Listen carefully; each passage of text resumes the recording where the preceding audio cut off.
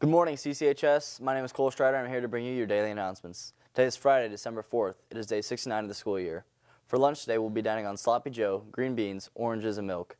The quote of the day comes from Dr. Henry Link. He said, We generate fears while we sit. We overcome them by action. Let's take a look at the standing announcements. Hi, my name is Carson Reek with the standing announcements. SWIC books need to return to the guidance office upon completion of your classes. All books are due Friday, December 11th. Seniors, please check your email and respond to Dayton Apple Trip with your senior quote. Here's a message from Houston Craft. Uh, let's send it over to Jackson Consuelo with the weather outlook. Weekend, we're looking at a high of 47 degrees, sunny skies. The weekend is just looking very pleasant. Back to the newsroom for the seminar schedule. Hi, I'm Cole Strider again. I'm with the seminar schedule. Today sem- today's seminar will be closed for a student government activity. Monday, there's an FBLA, FBLA meeting in room 305. That's all I have for the seminar schedule. Let's look at the activities calendar. Hi, my name is Ethan Freeman with the activities calendar.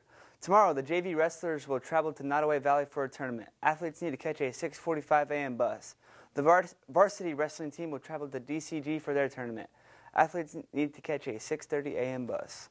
Also on Saturday, you can tune into the Iowa Dance State Team and Solo Awards ceremony for the live stream link shown on the screen at 1 p.m. to watch the awards won by the Peppers and Color Guard teams. That's all we have on the activities calendar. Let's send it back to the newsroom to wrap up the announcements. The no birthday to celebrate at CCHS today. We'd like to wish a happy birthday on Saturday to Hallie Orr, Haley Shields, Chrissy Travis, and Drake Raymeyer. And happy birthday Sunday to Gavin Millslagle. Have a great day, CCHS, and always remember to respect yourself, others, and this place.